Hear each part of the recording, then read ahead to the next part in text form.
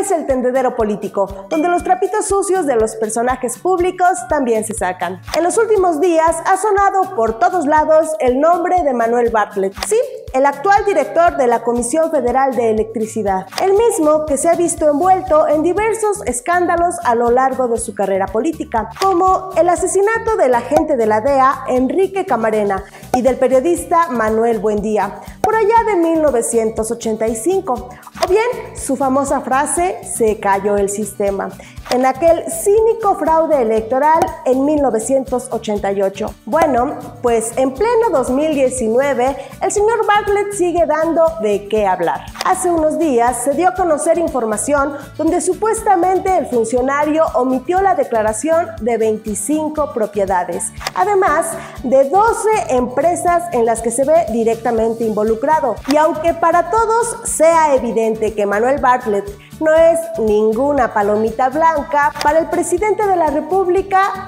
todas estas investigaciones no son más que habladurías y califica como una campaña en su contra. Liceo Bartlett es evidente que eh, está enfrentando una campaña en contra de su persona de parte de los adversarios de los conservadores. Ante estas declaraciones nos preguntamos, ¿acaso el presidente perdió la memoria? Porque si hace unos años calificaba a Bartlett como parte de la mafia del poder, hoy es uno de sus principales protectores.